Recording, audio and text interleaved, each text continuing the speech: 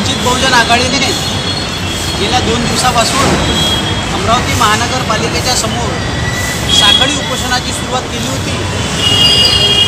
जैननगर येथील एकोणीसशे एकाहत्तरपासून बसलेली जी झोपडपट्टी आहे ती झोपडपट्टीला मालकी हक्काचे पट्टे देण्यात यावे या मागणीसह गेल्या वर्षभरापासून आम्ही महानगरपालिकेच्या सम च्या अधिकाऱ्यांसोबत चर्चा करत होतो निवेदन देत होतो.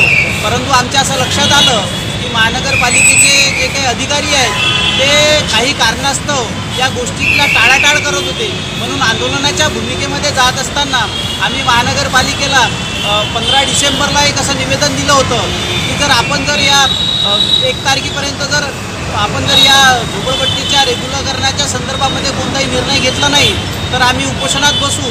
आणि त्याप्रमाणे दिनांक चार तारखेपासून म्हणजे कालपासून आम्ही इथे उपोषणाला बसलेलो आहोत. तर आमच्यासोबत वंचित बहुजन आघाडीच्या नेत्या वैदा नायक विनाताई नागदिवे तशाच वंचित बहुजन आघाडीच्या महिला अध्यक्षा Pradhan madam Alim Patel sir Sayyad Fuzal sir Milind Damodare sir Anil Phuljhele साहेब यांनी सहकार्य सर्वांनी आम्हाला सहकार्य केलं. आणि या सहकार्यामधून आज महानगरपालिकेचे क्षीर सावंत साहेब यांनी एक आम्हाला पत्र आणून दिलं की आम्ही ही जागा कशाची आहे ती व्हेरीफाय केलं असता ही जागा सरकारची असल्यामुळे त्यांनी या जागेच्या मालकी पट्ट्याच्या संदर्भातला जो काही प्रस्ताव आहे तो आठ दिवसामध्ये पाठवण्याचं आश्वासन दिलं. त्यामुळे आम्ही आज महानगरपालिकेच्या या सहकार्याबद्दल आणि आम्हाला ज्या ज्या लोकांनी सहकार्य केलं प्रत्यक्ष सहकार्य केलं अप्रत्यक्ष सहकार्य केलं त्या सर्वांचा आभार मानतो.